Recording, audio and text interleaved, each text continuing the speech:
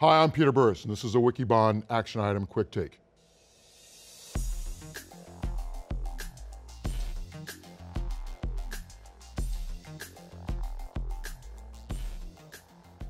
This week, ServiceNow had a blowout 2017 set of results.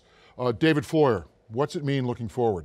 So they've been doing extremely well from a financial point of view. But what's interesting is their fundamental strategy, which is to, uh, they started off in IT, being people that could put together cross uh, departmental uh, capabilities and procedures and things like that. And they have extended that so that they can do it for as a platform across the whole of an organization.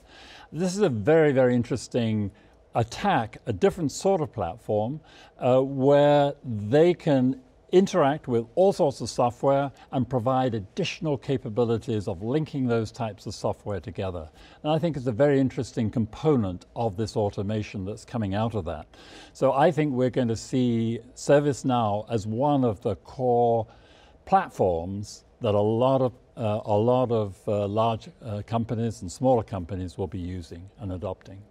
David, thank you very much. This has been a Wikibon Action Item Quick Take talking about ServiceNow's 2017 results and upcoming success.